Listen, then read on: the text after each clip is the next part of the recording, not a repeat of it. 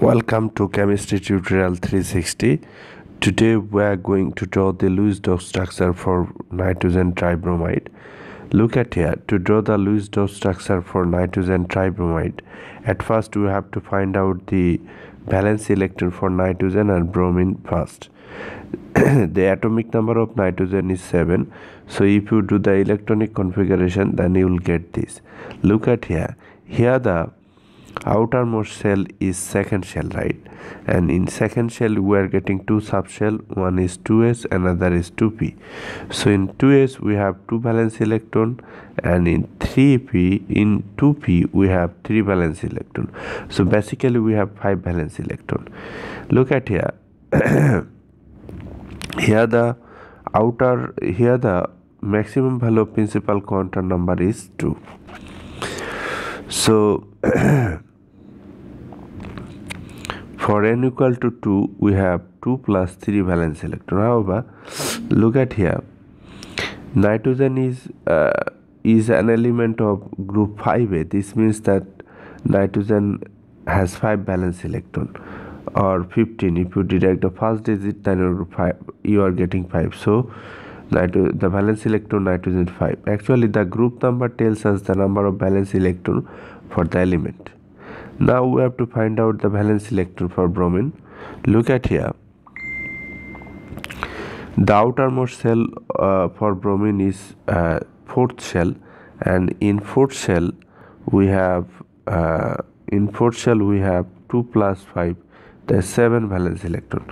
Or bromine is an element of group 7a if you deduct the second digit then you are getting 7 or bromine is an element of group 17 so if you detect the first digit then you are getting 7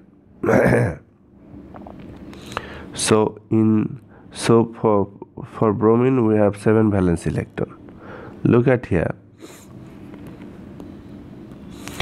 In nitrogen tribromide uh, nitrogen has 5 valence electron and bromine has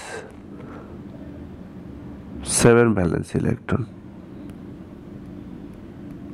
But bromine has uh, 3 atom so if you multiply 3 then you are getting 21 basically if you add these two then you are getting 26 in the third step I have to find out the central atom.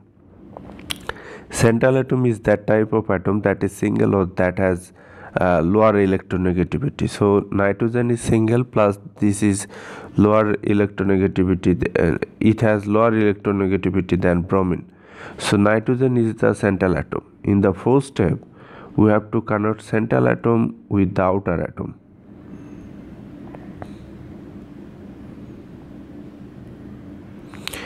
every line indicates two valence electron or two dots.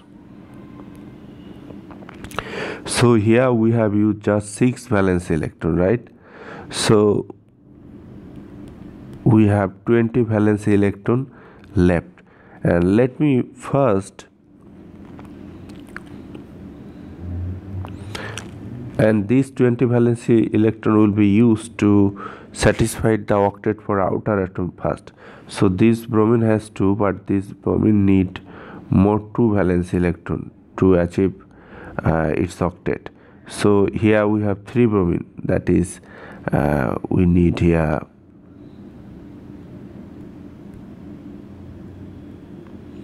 six six six so we have look at the green dot. Here we have used six. So six times three bromine 18 so we have used 18 among this 20 valence electron.